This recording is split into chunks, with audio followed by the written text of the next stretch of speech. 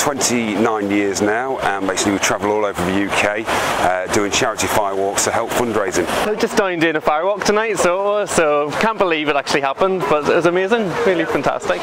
Been doing a number of things, we've been raising money which is vitally important for guide dogs for the blind but what we've also been doing is just really throwing down the gauntlet to sighted people and blind and partially sighted people and say well actually there's nothing that blind and partially sighted people can't do. Um, and as you saw yourself there tonight, there were a couple of blind and partially sighted people that went across the, the hot embers just like the sighted people and everybody's in the same boat, the same level of fear. So it's actually about raising awareness of the impact of, of sight loss. It's about making it, helping people to understand that actually, you know, blind and partially sighted people are just the same as you and I, and they want to do the same things that you and I want to do. Um, and it's about having a bit of fun as well, because we want to raise money, and the best way to do that is if you're having fun. So, so that's really what we've been about tonight. Are you ready? Are you ready? Show me!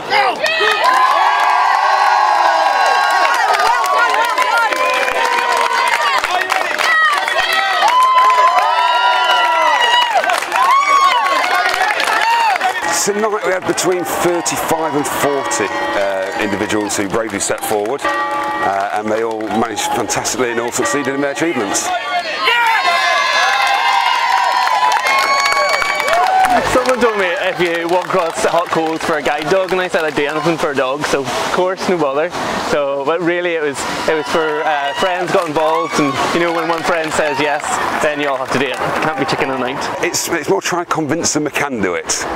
So it's, it's physically possible to do, uh, but it's just letting them know that you can and how to get around the barriers. Total fear. We ne- nearly didn't come. At the door, nearly turned around and walked the other direction. Then they got us downstairs, and the chanting started, and everyone was going. And once everyone's sitting there is going to do it, then you can't can't say no. Well, all the money raised in Northern Ireland stays in Northern Ireland, so it's about helping to fund the services that we provide. So we provide a really, really broad range of things from the guide dog, which is obviously our iconic service, um, but we're also helping other people who maybe aren't able to use a guide dog and maybe wouldn't be able to look after a dog. We have a sighted guiding service where we can help people get out and about their own homes with the, the, the support of a, a sighted volunteer who's been very highly trained.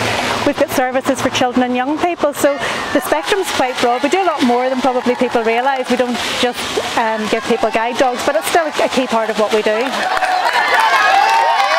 Total amped up, want to do it again. Absolutely loved it. Um, to- can't believe it happened, um, and um, just want, don't know what to do next. So yeah, totally. visit us on our website, which is guidedogs.org.uk, or they can visit us on our, our Northern Ireland Facebook page, which is guide dogs forward slash uh, guide dogs Northern Ireland.